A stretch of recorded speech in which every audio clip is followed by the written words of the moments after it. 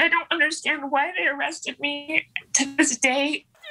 Owners of a hotel in Washington County describing the night Hurricane police officers arrested one of them inside that hotel. Now they filed a lawsuit claiming the officers used excessive force and had no cause to make the arrest. Body camera video shows the arrest and why officers were called to the hotel in the first place. Fox 13's Aaron Cox has the story and first a warning, some viewers may find the video intense.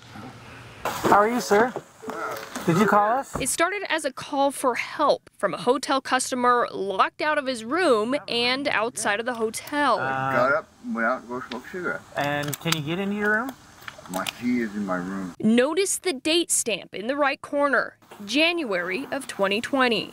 A year ago, the two officers showed up on scene and eventually walked into the hotel with the man. The owner says the man broke the front door while attempting to get back inside. Officers used the phone in the lobby to call the owner. Danielle Blackmore says she thought it was a prank call. Could have been anybody claiming that. Eventually, Blackmore walks down. He kicked my front door open that was locked. I have procedures. Hold on, hold on.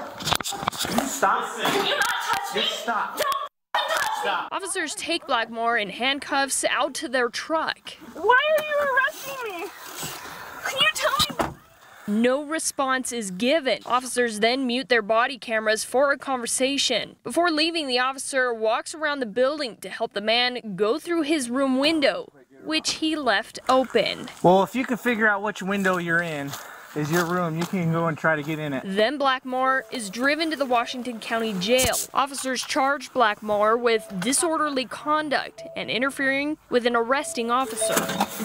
The officer turns off his camera. They asked me to take all the strip down, and I asked them why, and they just basically, and, and there's like guards standing, male guards standing outside why I'm stripping down all my clothes. Humiliated, Blackmore says the night has left her emotionally scarred.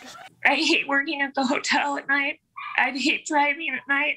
The lawsuit claims police used excessive force and arrested Blackmore without probable cause. Fox 13 did reach out to Hurricane Police, who said they would not make a comment at this time. Aaron Cox, Fox 13 News, Utah.